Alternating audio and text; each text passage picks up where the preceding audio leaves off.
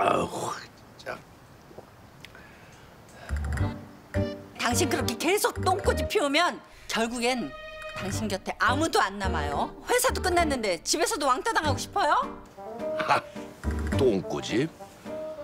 이게 아주 직장 떨어졌다고 남편을 불러보고 응? 사사건건 대들고 말 대답하고. 아이 이게 진짜 까불고 있어. 아이고. 조용히 해, 임마!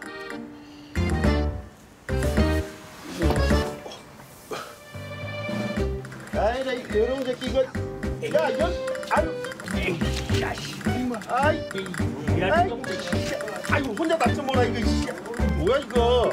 아이씨 맞다가리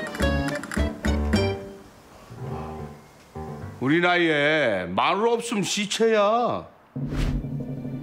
부인한테 조른당해서 혼자 살다 고독사 했대요. 고독사?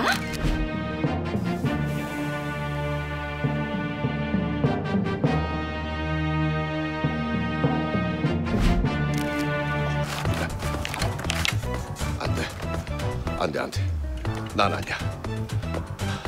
난 아니야. 아니야, 아니야. 안 돼, 안 돼, 안 돼, 안 돼, 안 돼, 안 돼. 안 돼, 안 돼,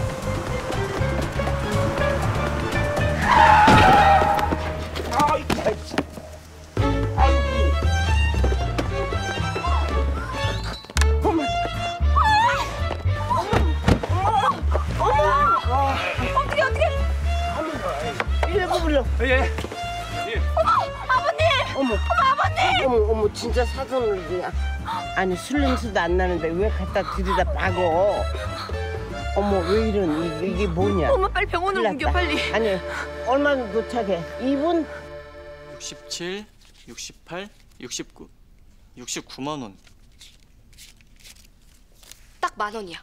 그럼 70만 원이니까 80만 원 더 필요해. 무슨 미용학원비가 그렇게 비싸?